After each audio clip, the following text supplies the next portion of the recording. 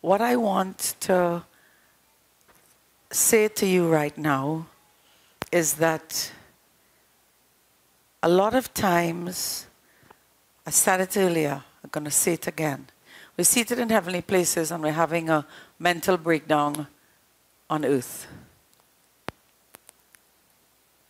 Over and over and over. We're seated in heavenly places and we can't think straight, can't read a word, in an emotional turmoil. I just need us to understand something. You're saved, and the rest of your soul, your soul needs to catch up with the fruit of the Spirit. Do you understand what I'm saying?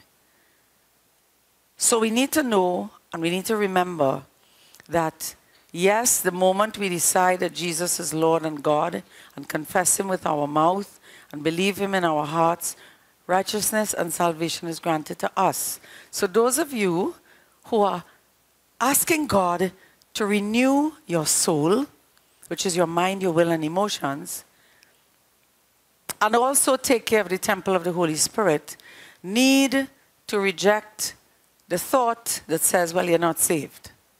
Because what's happening is that we are forgetting that there are three tenses being used here with salvation. Instantly, we are saved as a new creation. We understand that. We die at that moment, we go straight to heaven. Even at times when we are having the breakdown, we're saved. Unless we've turned away and come off the narrow road and said, I don't want anything more to do with Jesus, like Judas did and a, and a couple others. But you're not in that position where you all are getting some bombardments in your mind is that you, you, you, you're jumping back and forth, but you don't understand at a deeper level. If you look into salvation, there are three different tenses used for a reason. So Titus 3.5 will say, we were saved. I'm fleshing this out because I'm coming to teach a little later and I need us to grasp, I need us to grasp something.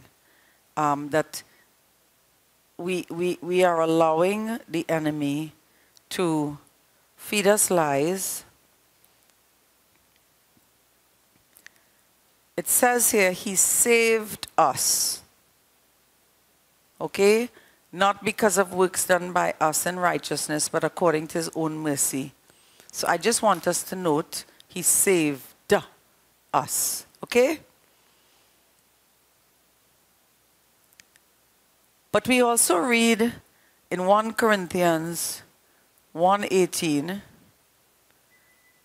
and I, and I have taught you this before, where there are three tenses, and what's happening is that we are not underlining stuff, pinning it up and remembering it.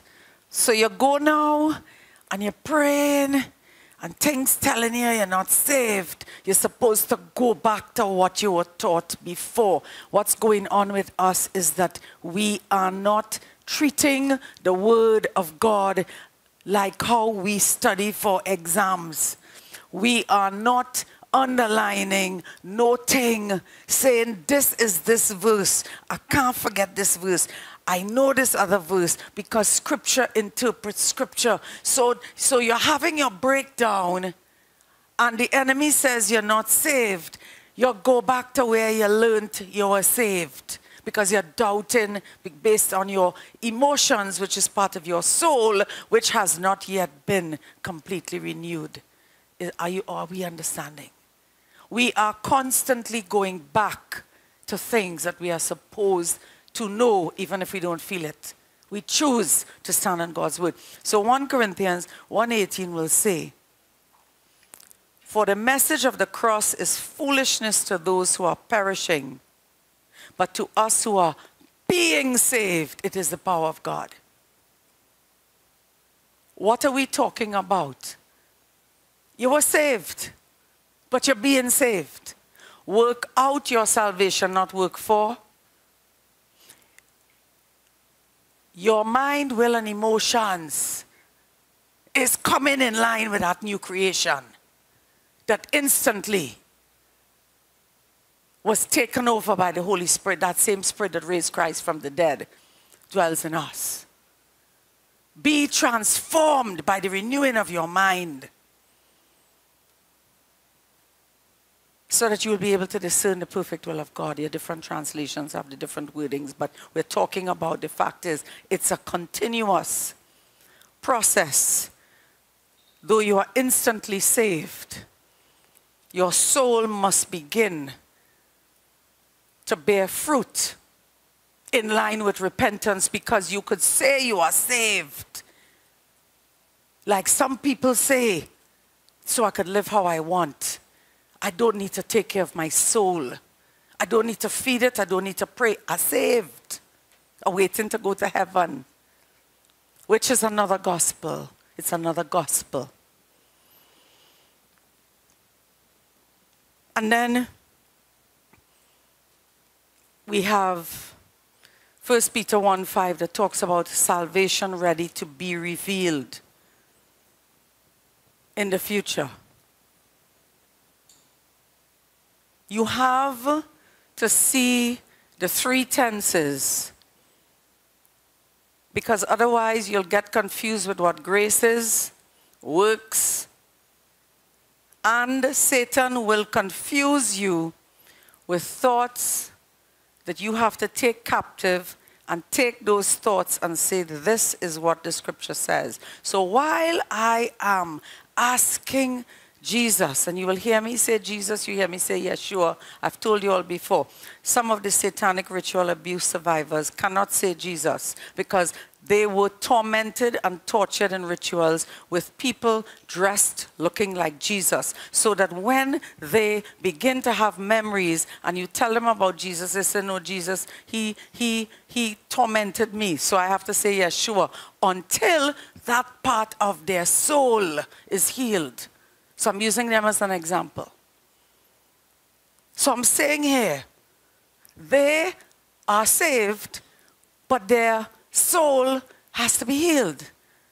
There's all many of you yourself experience fragmentation of the soul where part of your soul you don't even understand pushes back and tells you things and some of you so demon focused, you're casting demons out. When the fact is, those demons were supposed to go a long time ago. You have authority over them. Your soul needs to be renewed.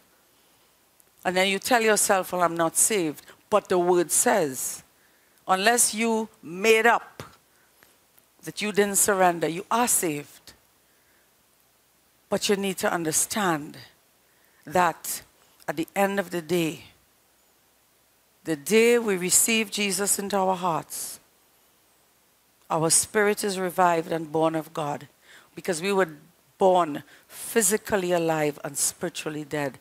We are now spiritually alive because that same spirit that raised Christ from the dead, my word, that same spirit that raised Christ from the dead now dwells in me, my spirit man. That's a new creation. But our soul and our body has got to now be renewed. Now, our body is deteriorating, we know, but there are parts of our body, and it's more glaring to me when I deal with those who have had extreme occultism in their life. And let me just say, more and more normal Christians have had extreme occultism that's affected their body. So even though your body is deteriorating, when you really ask Yeshua to purge your body of those things that wasn't natural illnesses, then what you will find is that your body is literally itself being renewed. But the test is really fruit that comes from your soul. Your soul must be renewed. Your soul must be submitted to your spirit, this, which is the Spirit of God. And that's where the challenge is, and we are getting confused because we are living soulishly. I feel this, I feel that, so that must be what it is. No, what it is, is what the word says. I'm feeding my spirit man the word, but I know that my soul has not yet caught up with my spirit man. So, guess what? While we live, your spirit man, your soul must be submitted to the Spirit of God. I hear too many people saying, I felt this way, so I acted this way. And what happens in that case is you are living soulishly. And the way of the world that has infiltrated the church has encouraged that foolishness. Because we judge even the presence of God by how we feel. Felt tingly, so therefore he must have been here. No, actually, he might not have been. It comes with fruit. You leave here, and the fruit is literally not even an encouragement to go and read more of the Bible. I'm not saying how you see yourself. Because how you see yourself might be how somebody raised you in the way they see you, and that part of your mind has not yet been renewed. It's do I want to pray? Do I want to read the word? Can I say more than ever that I cannot deny that Jesus is Lord and He's, I cannot deny that He's God, and I am wanting to come into his presence again on Sunday. And if one of my, I hear of a friend who is on their deathbed, I want to go and tell them about Jesus before they die. Is that what's happening in your life? Because that's the fruit we are talking about. Not this, I feel better. At some point in time, your soul will catch up with your spirit man. Because there is a process of working out your salvation, walking every day with Yeshua, a process. It's called progressive sanctification. But that's not going to happen overnight. So if we don't stop and begin to remind ourselves of what the truth is, of who we are, every day you're going to be dealing with your soul telling you, are feeling down. This is happening. David, I keep saying, spoke to his soul, soul, why are you downcast? The joy of the Lord is your strength, because that's what the word says. I, I, I just need us to keep this in mind, not to make you feel like, oh gosh, well, I can't even say how I feel. And no, it's not that if it's one step you've got to keep going back to, is what does God say about me being saved? What does He say in His Word? Not what I'm thinking, not what I'm feeling. So every challenge I get, I don't forget what He's saying while I bring my soul in line with God's Word. And renewal in time will take place. So I want us to know that Paul said it very clearly in Romans 7 21 to 24 that his inward man, his spirit, delights in the law of God, but there's another law in his members, which is the law of sin. And he goes on to describe that he does the things he doesn't want to do and he doesn't do the things that he wants to do. Is that not our walk? But we're not stopping there. Well, that's how I am. No, that's not, that's not how I'm going to remain. But Paul said it. He delights, his spirit man delights in the law of God. But there's another law that is at work that pushes back against what he desires to do. Paul was clearly saved. But if I may use the phrase, he still needed salvation in other areas.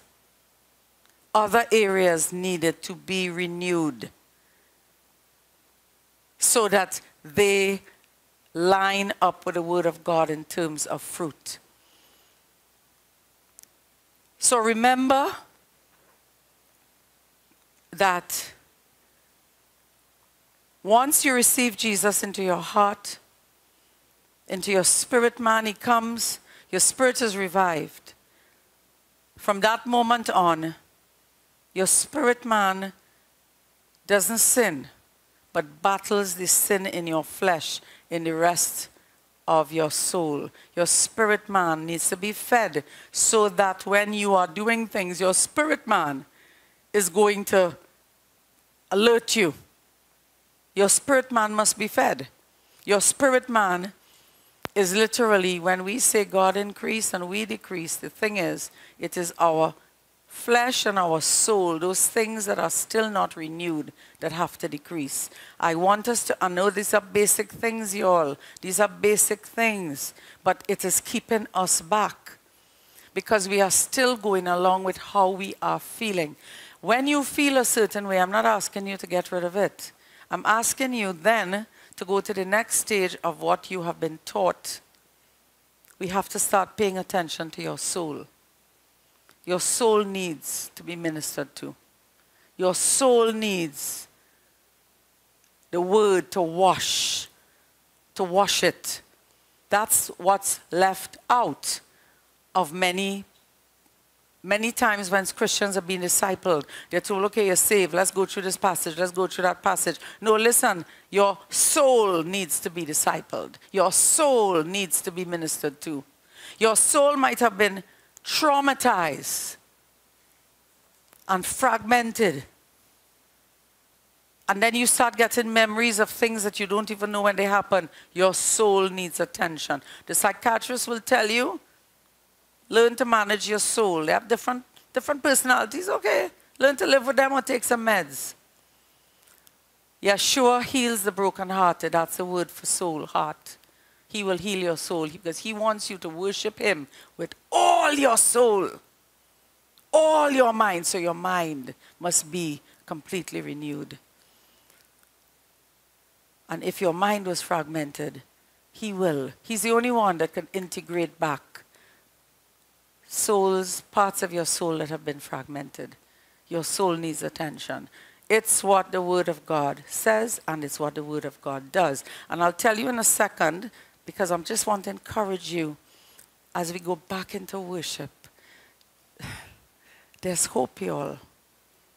We're not called to remain with spots and wrinkles and just be like, I'm saved and I'm just waiting for Him to come. He's not coming until His church remnant church, whatever remnant church we're talking about, meaning his people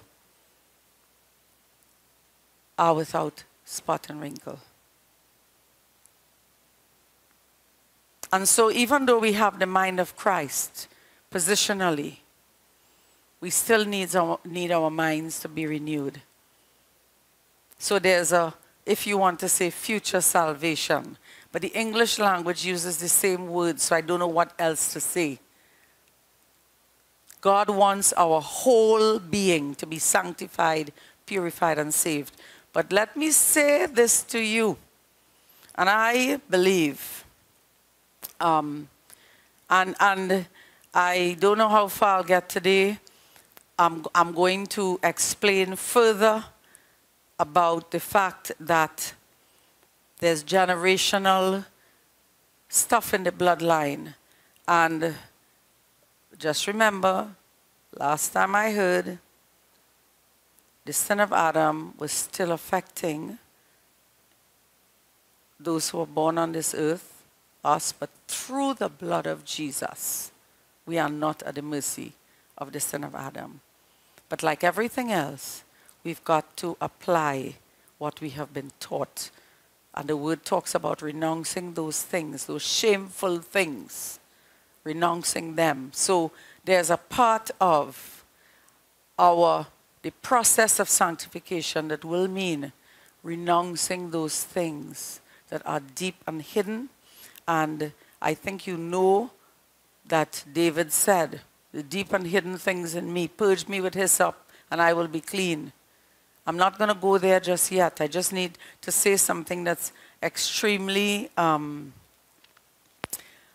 encouraging and I hope it's encouraging for you.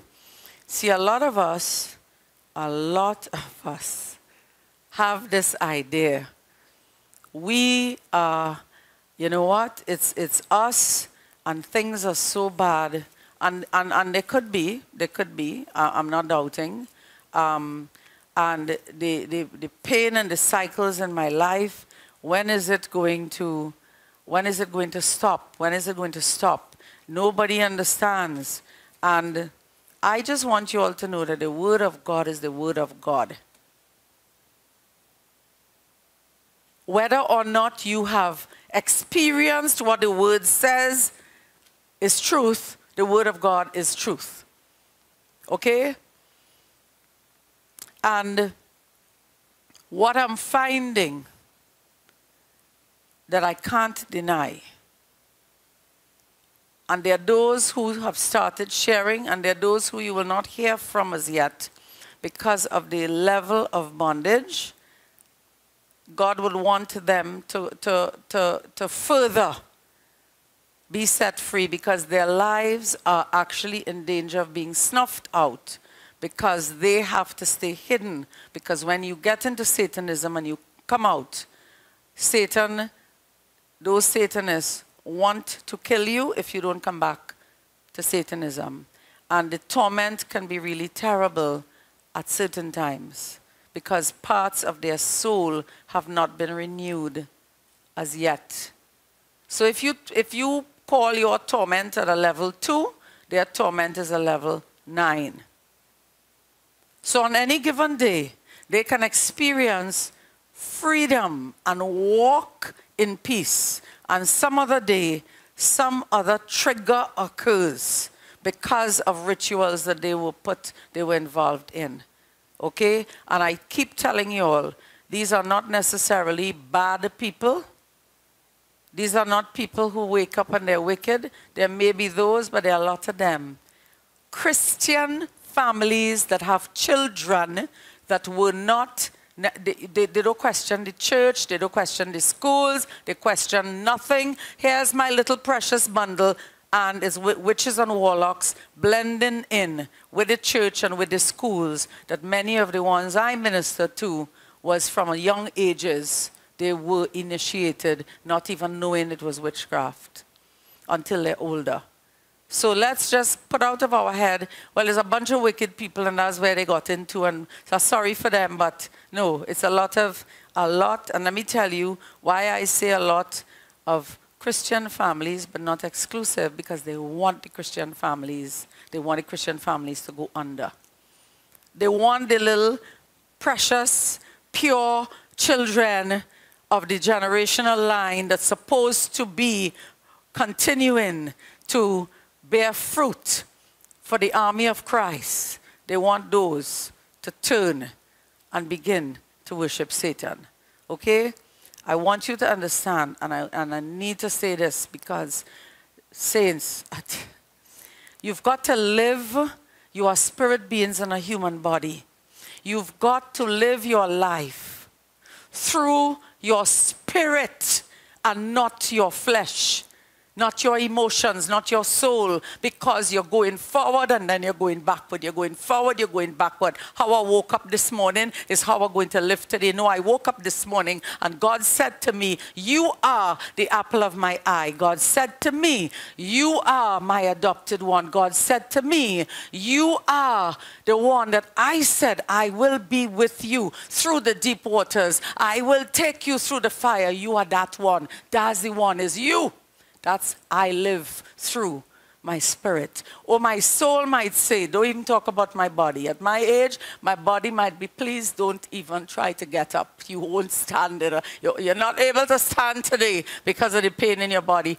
But what you might more be hearing is, I'm so worn out, like I feel like I was hit with a bus yesterday, but not, not in my physical body as much as emotionally, like I just want to go and be before Yeshua because or some pain, some, some deep pain because of somebody that did something. Somebody told me, I think it's yesterday, they said, my mind, my mind feels like a fog, but my soul feels like people have just sent arrows to me. And I said to that person, see, when those things happen, you need to understand, I'm seated in heavenly places. I'm living life through my spirit. It doesn't mean that overnight you're going to be able to do that, but you've got to stop the programming of living through your soul and through your flesh. You've got to live through your spirit, man, and you've got to continue to tell your soul, you're going to get renewed. I'm going to read the word today.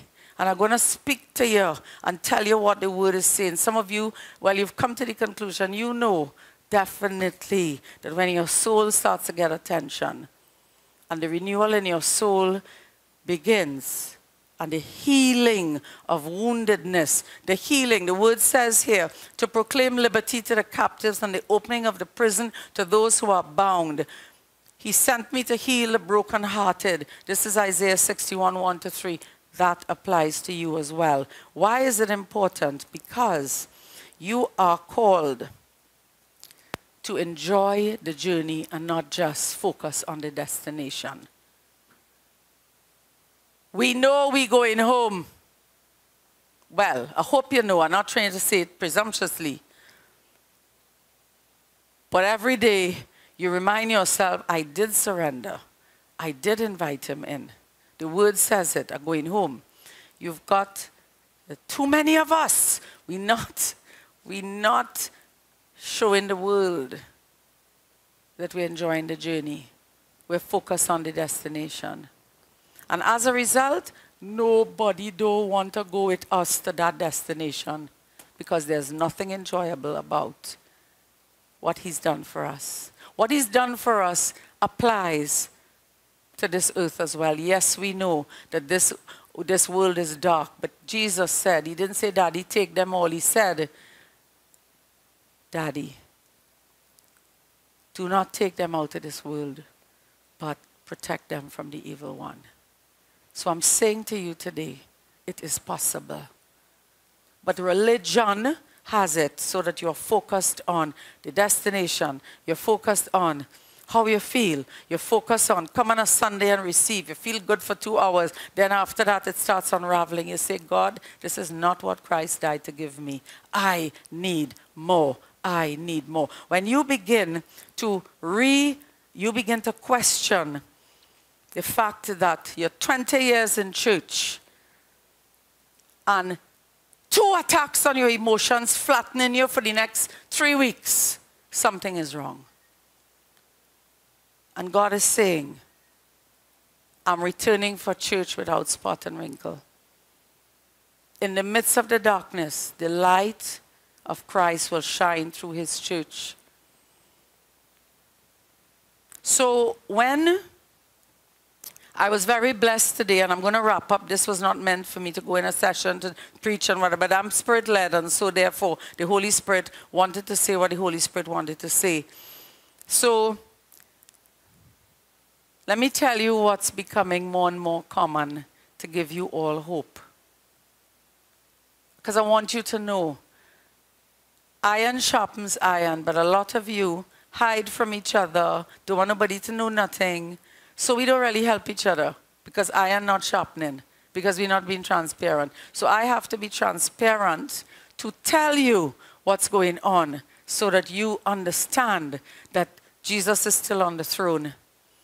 And he is going to do for you everything he promised if you want it if you want it. If you want to just stop at halfway deliverance and healing, He's not going to force you. I'm encouraging you not to stop. I'm encouraging you to, I, I now listen, when someone was, is, is in um, ritual abuse, there are different levels and different degrees of, of that level of abuse. And there are those even in church that actually have come out and are wrestling with ritual abuse, but it may be a lesser level. Do you understand? So, the kind of depths of bondage that I'm coming across is it's not abnormal to be discipling someone and all of a sudden you hear a voice say, I am Legion and I'm not leaving. To you all, that's like, oh my gosh, that's 40 days fast to deal with. I don't deal with it. The anointing of God breaks those yokes. So for me, it's I bind you and cage you. Let me get back to the child of God. Because Yeshua has not said, cast that legion out yet. Because remember, you've got to be ministered to. Your soul needs to be ministered to. Many of you, everything that may be a demon you want out, but the truth is, your woundedness and your pain and even your trauma and fragmentation that's part of who you are needs to be healed. So I focus a lot on the healing that has to come from the awful, awful, awful, can't describe. There are those that will say, I'm not ready to tell you yet. I'll tell you in time. I can't tell you yet. It was so terrible. And then sometimes I hear stuff, and God just helps me to give it to Him because we have been living in a bubble. If we feel that the satanic church and Satanists have not had their agenda and been carrying it out. But where does that leave people who have been so, so stripped of everything in their soul, who have been raped multiple times? I can't even describe to you. Where does that leave them? Does it mean that oh my gosh, I'm still dealing with rejection, so it can't be that they're going to get healing. It must seem impossible. It's not. And I'll let you know, I want to encourage you, and I keep saying to you, desperation for Yeshua is key. Key. If we don't stop wanting people and their validation more than we want Yeshua, we keep back our own healing. I'm saying this to you because you need to understand that I see the transformation come when they start locking into Yeshua, but they don't lock in straight away because they have had so many people do things to them that they still they start off with trust issues. So if you're going to help anyone, please make sure you deal with your own self first because you've got to love like if you have never been hurt before when you start to love people who people have said they love, but they've really destroyed them. Remember, they come out of what they thought was okay, but it wasn't. 13 year olds that were handed over to family members to help them to be a better 13 year old. Turns out it's Satanism. And I can't begin to tell you the kind of stuff they were exposed to. So to them, love is just a word. So I want you to know in the beginning, just like with y'all, the wanting love is there, but the trust issues are also there. But, the, but Here's the difference. Here's the difference. Learn to love and not have your love conditional. Because you cannot help anybody if they see you as a person that only loves some of the time. Many of us want to love people, but we love them once they do things for us. And when they don't, we don't love them anymore. People observe that. Once we are able to receive love initially from a person, because remember, they don't know who Yeshua is, they, they will then get interested. You will know my disciples by their love. If my disciples do not love, many people who come for help cannot get it because it is the love that will draw them and the love that is there even when they mess up. This is why in the church we have to stop looking at what people do right, wrong, or indifferent. And we've got to see them as souls that Christ died for. End of story. It doesn't matter if whatever you ask them to do, they didn't do. The fact is, God will bring that conviction. Even you might mention it, but you will love them while they are trying to get back on track. But many of us, that's not how we speak, even about ourselves. We can't even say to ourselves, Soul, you're messed up today, but Jesus loves you still. There's no condemnation for those who are in Christ Jesus. Do you understand what's keeping us back? It's keeping us back from helping others and it's keeping us back from our own selves. Secondly, transparency. When they begin to believe that you're actually interested because they haven't turned away. You haven't turned away when they did things to make you turn away. You know, we are petty in the body of Christ, huh? This person did me this, and because of that, you see me, I have nothing more to do with them. When God is helping you to become a person who it does not matter what people do to you, you will turn around and say, you know what? You want us to continue? I, am really sorry that if I did this, if, if it, what it is you tell me I did, let there be forgiveness. And you see, that's why the offense in the body of Christ is keeping back the healing of many. So they have to know, no matter what, you're still going to turn around and be there. And then they begin to unpack their stuff. You want to disciple somebody what? With a passage of scripture? Great! Wonderful! Scripture is necessary.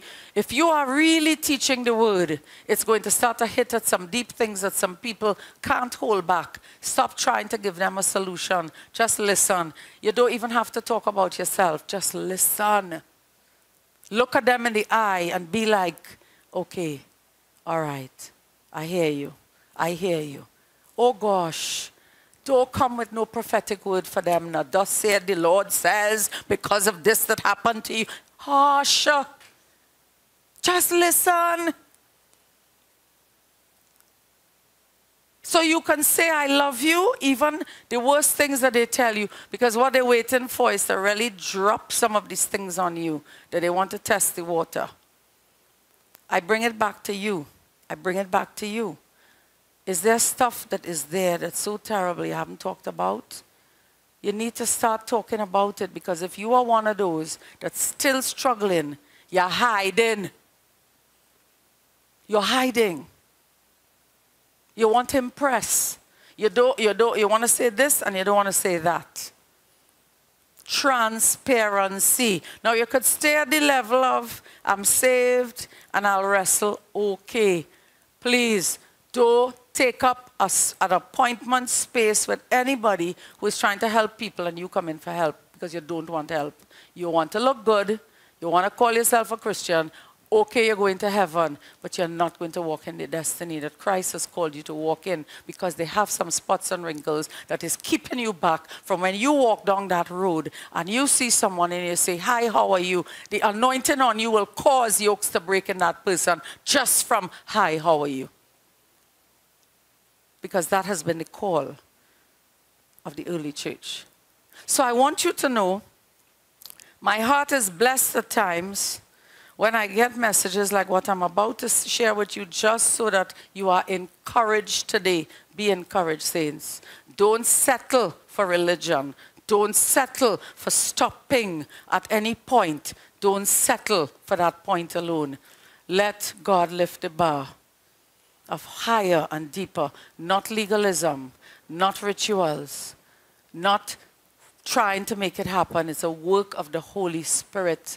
The first thing has to be that you want Yeshua.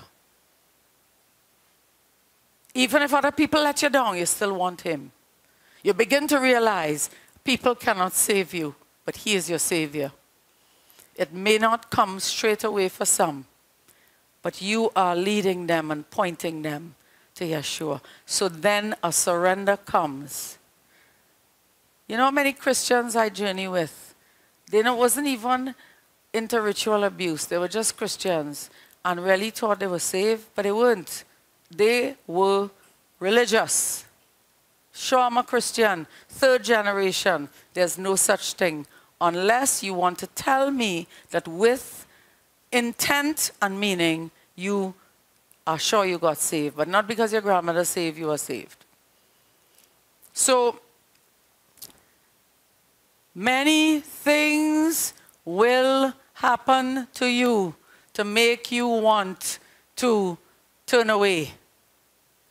That's the sifting that will take place. Notice the disciples were sifted. Notice that Peter didn't just get to the stage Peter got to. Peter went through a sifting. The word says, Jesus said, Satan has asked to sift you, and I'm praying for you. What did he do? He denied Jesus. What did Jesus do? He went back to him. He says, Will you feed my lambs? Do you love me? That's the first thing. Do you love me? Yes, Lord, I love you. You know the things that Satan brings to you? You're no good, you're this, you're that, you're the. Jesus knew. Peter had to hear himself say, I love you, Lord, because he had denied him three times. He had to hear his own mouth say it. Some of you need to go back to, do you love the Lord? Yes, Lord, I love you. Do you love the Lord? Miss Lady, do you love the Lord? You love the Lord. You love the Lord. You love Jesus. Nah, you don't love Jesus. You love Jesus? Look in the mirror and say, Do I love him? Yes, you love him. Nothing else matters. Nothing else matters. You could be assured he loves you. Why? His word says so. You don't feel it. What if he told you, I don't feel your love, I don't think you love me? Lord, I love you. I might be messed up in areas, there may be things that have happened, but I love you. Lord, I love you. I don't have anything else to give you except to say, I love you. I love you. Saints, what devil could take that away from you? Why is that important? Because Peter needed to hear himself say it to get him to come to his senses. He had, he had given up and gone back fishing. And then he became fishers of men.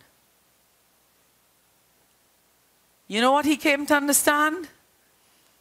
His soul was messed up. Fear, pride, you name it. Denied Jesus after he said he wouldn't do all that, but nobody could take away from him that he loved Jesus. It didn't look so to people. But the heart, Jesus knew his heart. He knows your heart. He knows your heart. He knows that you are wrestling with things that don't define you. But you need to get help for it. But every day you get up, Lord, I do love you. Nobody going to tell me otherwise. I, I can't give you up. I'm not going to walk away. From, I can't. Where am I going, Lord? Simon Peter said, where, where, where are we going? Where are we going? You have the words of eternal life. I'm saying this to you, y'all, because you've got to remember these things. Otherwise, every time the devil comes with some big drama, you're going back to square one again. You got to pause. Hold on, hold on, hold on, hold on. I might not have done it right today. I might not get it right tomorrow because I don't know what will happen. But one thing I know is that I love him. I love him. Are we understanding this? The devil can't take it away from you.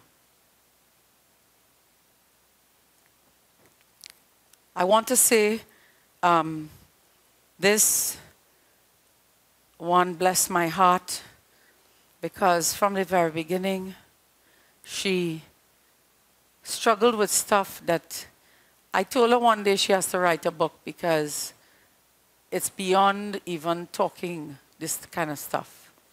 Yet I see where once she got to the place where it's Yeshua, can't say Jesus yet, starting to say Jesus, but Yeshua, when things would send her flying in a, in a turmoil, now she runs to him. She wanted to run to me first, a lot of the times, until she connected with him. I said, I love you, but Yeshua loves you more. Run to him. She's now connecting the dots. I want you to understand that I hear her say some things that I'm still waiting for Christians who've been in church for 20 years to say to me in the middle of their crisis. Because I know once you feel what I'm about to describe, you're going to get through. But when you swallow the lie that everything has gone crazy and, and, as well as you're not sure if you want Yeshua. You're, you're still thinking about it. We're still at the stage of you thinking about it. That's okay. But that's not going to pull you out of the miry clay. It has to be that you are remembering it's about Him.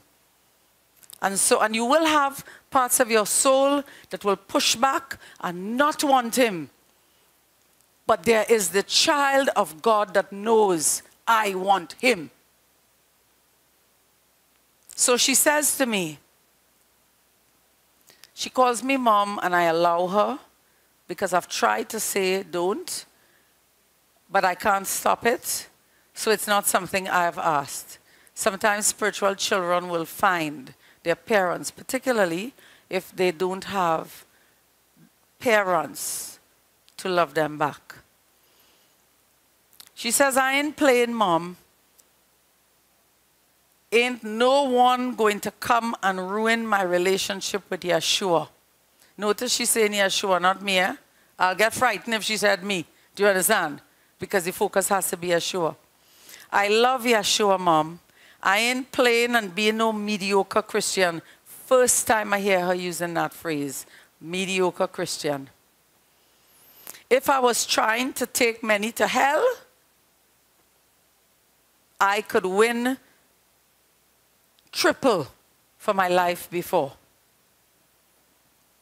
I've gone through hell and back. Satan did too much to me, and now he's going to pay because he had an agenda for me. But Yeshua has a plan for my life since he knit me together in my mother's womb. Since when I get a message like that, I am aware uh, it's not that tomorrow there wouldn't be a major crisis. Is this is where the devil cannot take you down a cliff. Because even if tomorrow a trigger of some memory comes, and you and the thing with memories,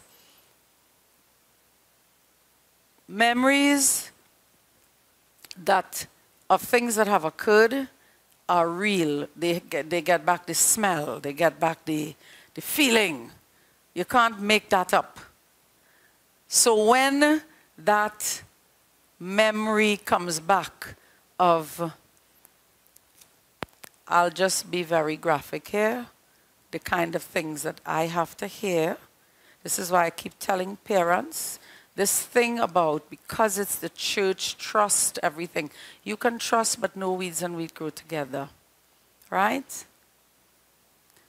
When it comes to schools, you've got to ask lots of questions. When it comes to Sunday school, you've got to observe and ask lots of questions. When Satanists want to infiltrate, they're coming through where the Christians are. And a memory came back where and I speak of a child of pastors. So in the same church of the pastor parents,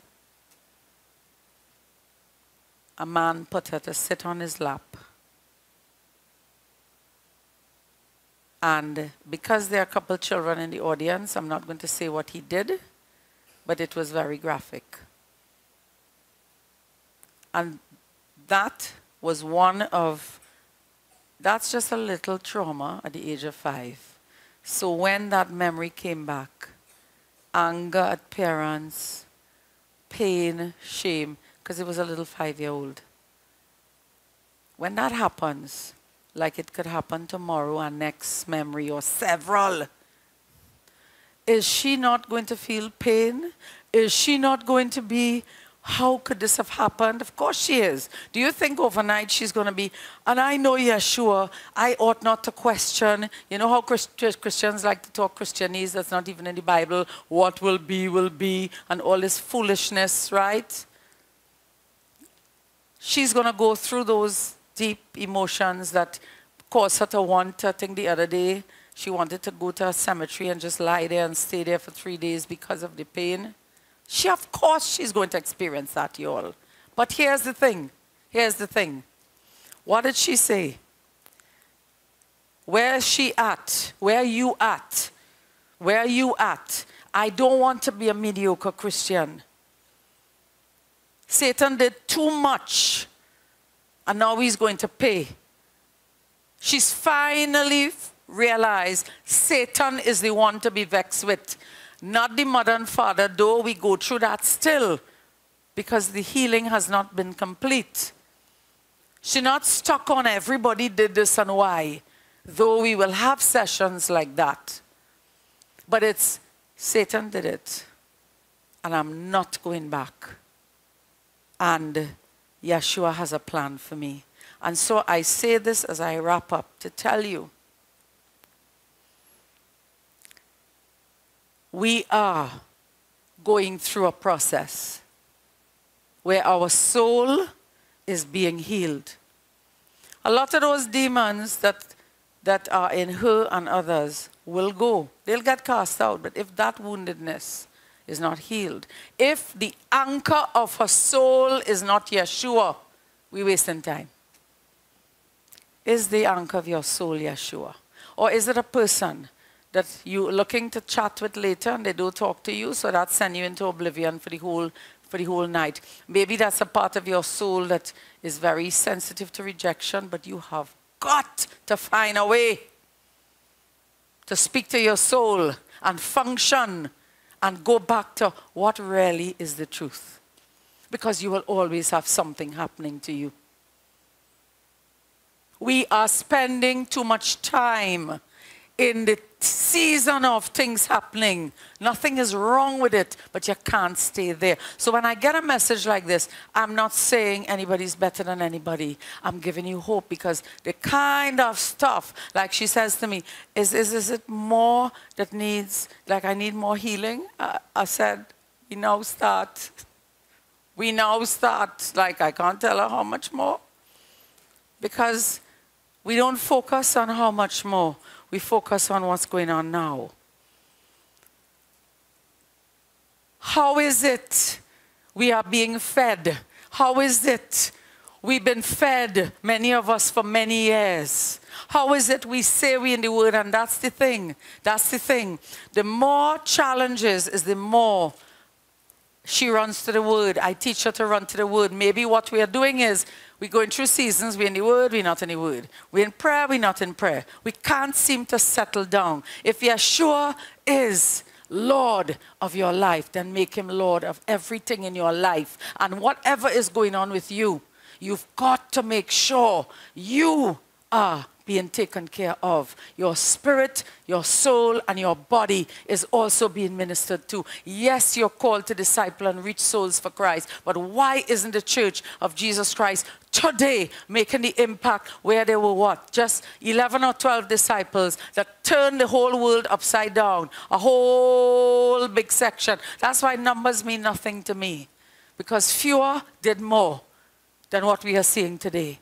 But God is returning for church without spot and wrinkle, and we expect while more will fall away, the ones left will get stronger. Do you understand what I'm saying? Are you one of them? Or is it that because of what has happened in the past, which we are not disregarding, you just can't seem to get past? You're not getting past because while you want to be healed, you're forgetting what did you learn all this time? Stay in the Word keep the times of prayer. Stay in the word. Keep the times of prayer. You know what you need for you to be free because if, you, if truth be told, two years ago, whatever crisis you went through, you had to run to the word and stay there. Why are you walking away from the word now? Why it is other people are encroaching in your time. Some of you need more time with the Lord than others. Let that be a constant. If anything, increase it, not decrease it.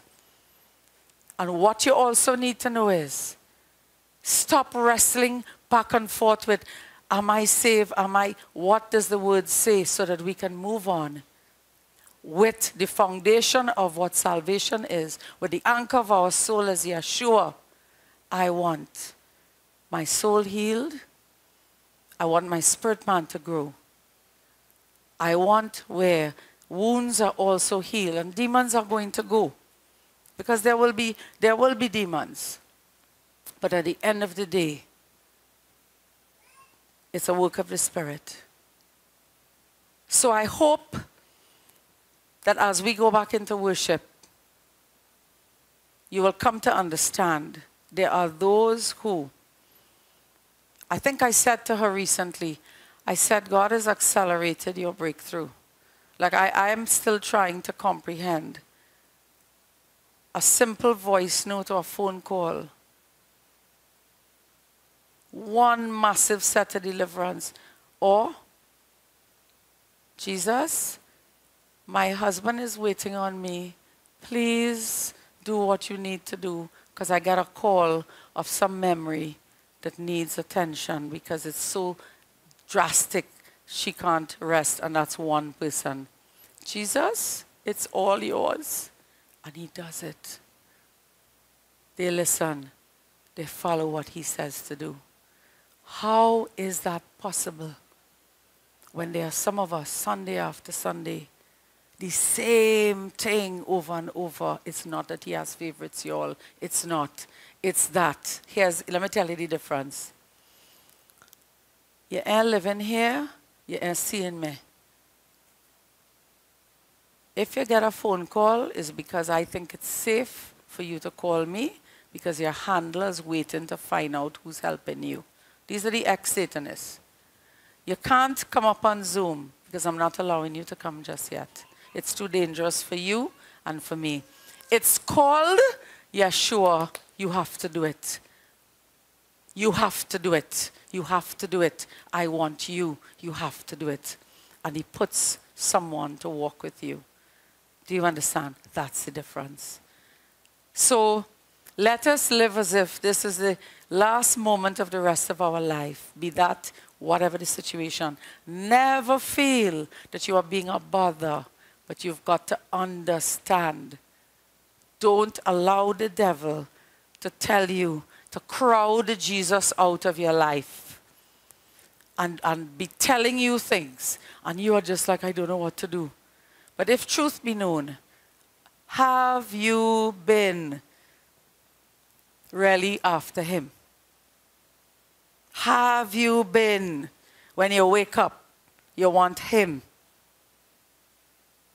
have you been transparent? You know, it's like somebody on a diet. I ate this, I ate that, I ate the other, but you didn't lose no weight, and you're telling the weight loss person, but I ate everything I was, I did such time. It wasn't a closet eating some two big pieces of cake, but you didn't, that was light, so I didn't need to write it down.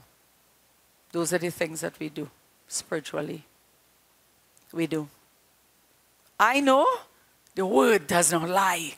So I am so grateful because he gives us everything for life and godliness in the word. And here's what don't feel bad, even if you got stuck. Just understand there's hope.